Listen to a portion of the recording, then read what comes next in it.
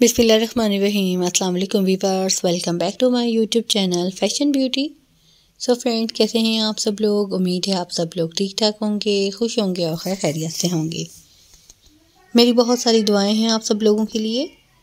Friend आज की video में आप लोगों के लिए कुछ ज्वेलरी सेट के डिज़ाइन लेकर आई हूँ, जो कि इस टाइम वेडिंग में ये बहुत ज़्यादा यूज़ किए जा रहे हैं। आप इसमें डिज़ाइंस कलर्स और आप देख सकते हैं। कि डिफरेंट डिज़ाइन के साथ आपको इसमें डिज़ाइन नज़र आएँगे।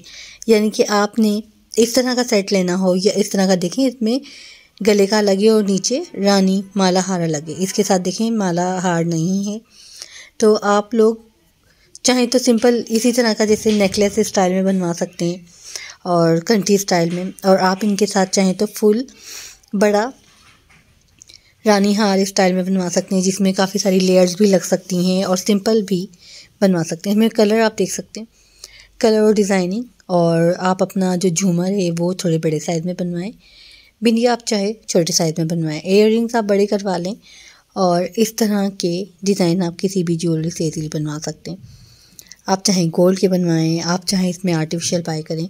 अच्छा अगर आप किसी भी ज्वेलरी शॉप के पास जाएँ, अगर आप उनको ये कहें कि हमें ये, इस तरह का डिज़ाइन बनवाना है तो आपको ईजीली किसी भी तरह का ये डिज़ाइन बना के दे सकते हैं। क्योंकि ज्वेलर्स का काम इसी तरह का होता है कि हम उन्हें जो भी ज्वेलरी वगैरह का डिज़ाइन दिखाकर ऑर्डर पर बनवाएँ तो वो इजीली बन जाती है।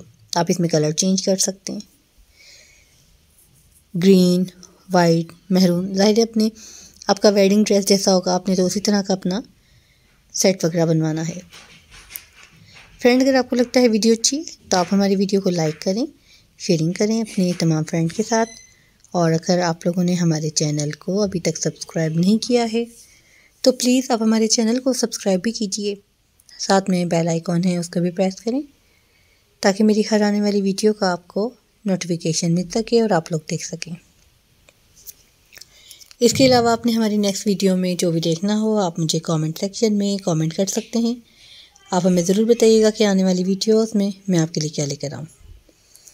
फ्रेंड नेक्स्ट वीडियो तक के लिए मैं आप लोगों से इजाज़त चाहूँगी। दुआ में याद रखिएगा। अपना बहुत ज़्यादा ख्याल रखिएगा।